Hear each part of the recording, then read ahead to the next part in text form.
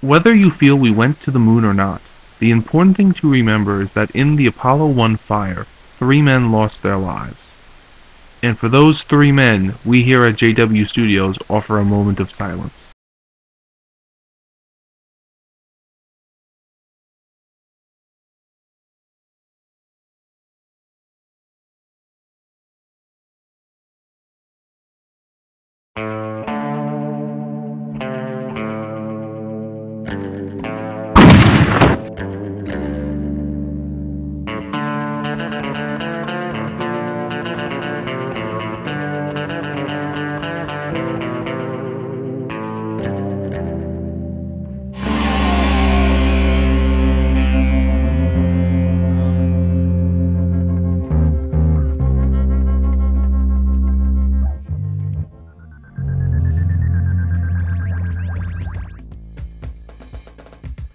February 20th, 1962. John Glenn Jr., a member of NASA's original group of astronauts, boards his Mercury capsule, designated Friendship 7. It is the first manned launch of a Mercury capsule atop an Atlas booster rocket. Unreliable test launches of the Atlas had previously reduced NASA to launch their astronauts atop Wernher von Braun's old Redstone rockets, just to get them as far as suborbital flight. All right, uh, lift off and the clock is started.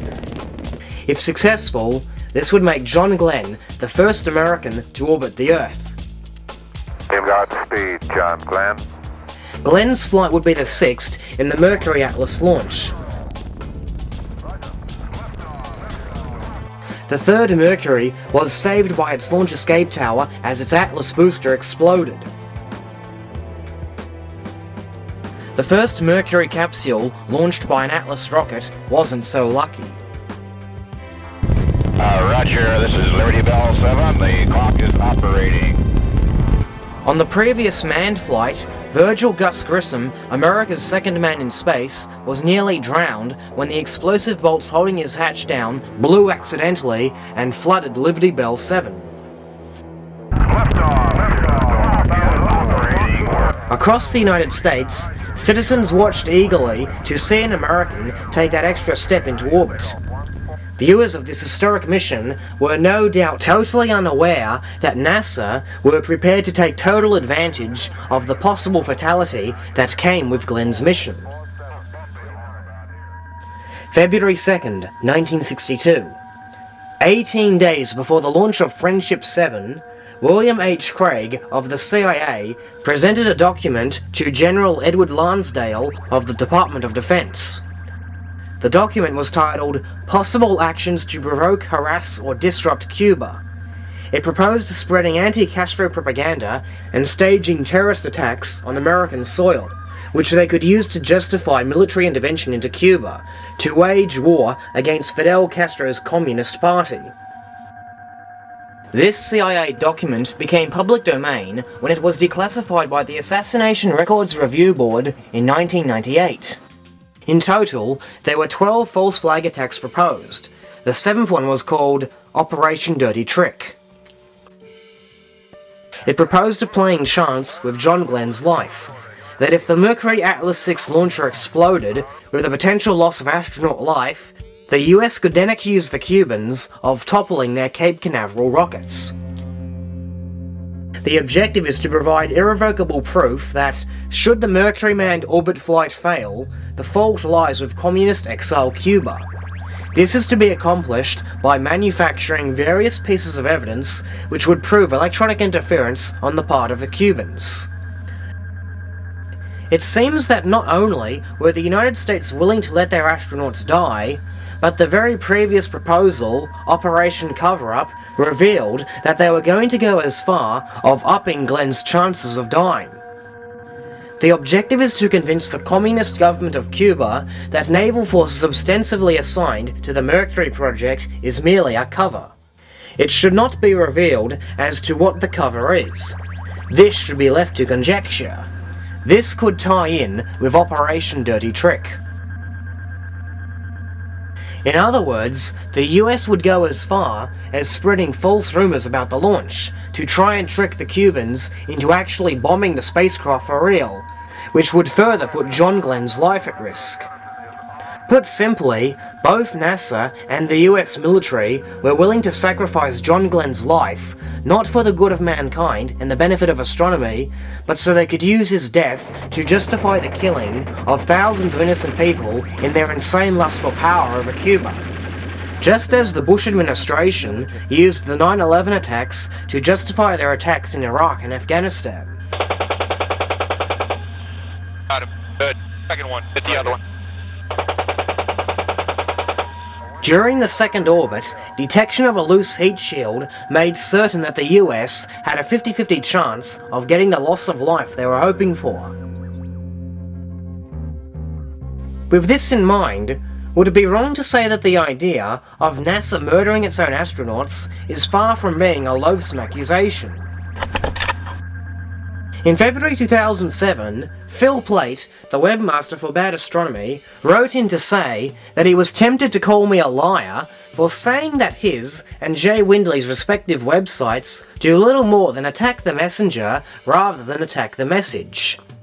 You know, René and these other guys, they've never lifted a finger to do any real research. They make these claims, they beat their chests, and they're wrong. They're wrong.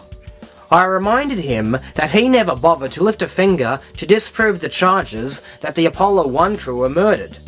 And I asked Phil Plait why he wouldn't comment on Operation Dirty Trick. Plait never responded. This was the first in as many as 10 requests over 2007 asking Phil Plait to comment on Operation Dirty Trick. So far, he has not answered one of them, and the reminders of this false flag attack continue to pile up. The crew intended to be the first to pilot an Apollo spacecraft comprised of astronauts Virgil Gus Grissom, Edward White, and Roger Chaffee. Chaffee had never flown in space before. As a member of the third group of astronauts, he had been selected from the US Navy.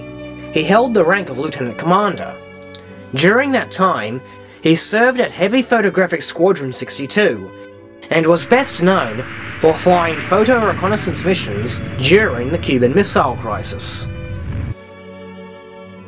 White was America's first spacewalker, and for a long time, the Guinness Book of Records and even NASA recognized him as the world's first man to walk in space. Okay, I'm coming over. You look beautiful. I feel like a million dollars. He was a member of the Next Nine and had been selected as a US Air Force Lieutenant Colonel. Like the Russian supposedly before him, his spacesuit had overinflated whilst walking in space. But White was probably in even greater danger, as unlike Leonov, he had no way of deflating his spacesuit. Grissom, a veteran astronaut of the original Mercury 7, had become NASA's first astronaut to return to space, flying both Liberty Bell 7 and Gemini 3. You're on your way, Molly Brown. Yeah, ma'am. On both his flights, Grissom had escaped from the jaws of death. On Mercury, the explosive bolts of his Liberty Bell capsule separated prematurely and flooded the capsule cabin, sinking it. NASA for some time had tried to blame Grissom for the loss of the capsule, stating that he panicked and pulled the release prematurely. These charges were unfounded. in the in the first uh, accident he had with the uh, with the missions. Yeah, they blamed him. No, because he was always shooting his mouth off. It was all his fault that the goddamn thing sank. No, it was the frogmen's fault. They didn't get the uh, the buoy strapped onto it quick enough. On Gemini, Grissom was nearly killed too. As Michael Collins recalls, in Carrying the Fire, Grissom had cracked his visor open against the dashboard during re-entry. On NASA's own website, one comes across the following vivid information regarding his role in the Apollo program and his stance on it.